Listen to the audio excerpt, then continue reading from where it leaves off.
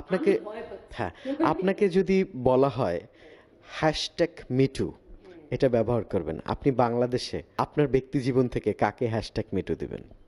আমাকে মিটু মানে এই ধরনের অফার করবে লোকের কি অবস্থা হবে লোক নিজে খুব ভালো মতো জানে সো আমাকে অফার করলে আমি মানে না মানে দুঃসাহসিক কাজ আর কি বরঞ্চ অন্য কাউকে জিজ্ঞেস করতে পারেন কোনো ঘটনা হয়েছে কি না too difficult to approach me হ্যাঁ নাই। হয়রানিমূলক কোনো ঘটনা আপনার সাথে ঘটেছে কিনা? যা মাথার মধ্যে ঘোরে অনেক সময় যেটার আমি প্রতিশোধ নিতে চাই। আমাকে হয়রানি করবে কার সাহস আছে? যে হয়রানি করতে আসবে তার জীবনে আমি যে অভিজ্ঞতা দিব তার মাথার মধ্যে কি করে সেটা আসলে বের করা উচিত। এরকম কোনো ঘটনা নাই।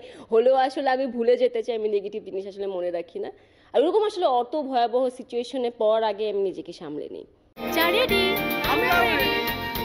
চা মানে লাইফটা ভরপুর। চা মানে ইস্পাহানি মির্জাপুর। প্রেমে পড়ার সুযোগ থাকলে কার প্রেমে পড়বেন?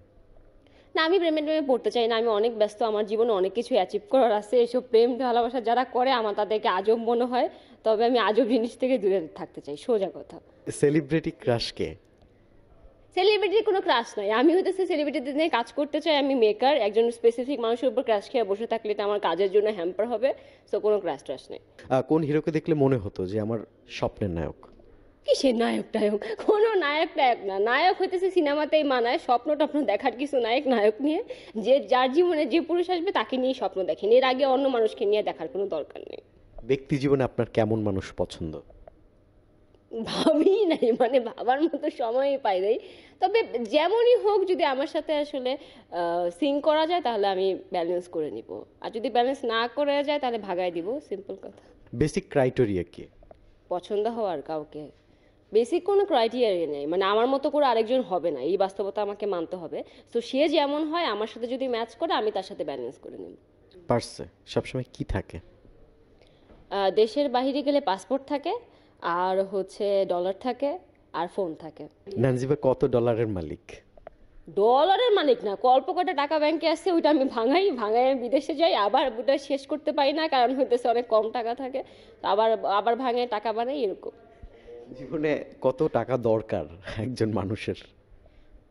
এটা ডিপেন্ড করে পার্সন টু পার্সন বাট জীবনে আসলে টাকা দরকার। যে আমরা অনেক সময় বলি না যে টাকা কোনো ব্যাপার না তারপর অনুদানের জন্য চেয়ে থাকি। এই আজাইরা অবাস্তব জিনিস থেকে আমাদের বের হতে হবে। টাকা দরকার টাকা একটা গুরুত্বপূর্ণ জিনিস এটা মাথায় রেখে সব কিছু কমার্শিয়ালি চিন্তা করতে হবে তাহলে আপনি সার্ভাইভ করতে পারবেন।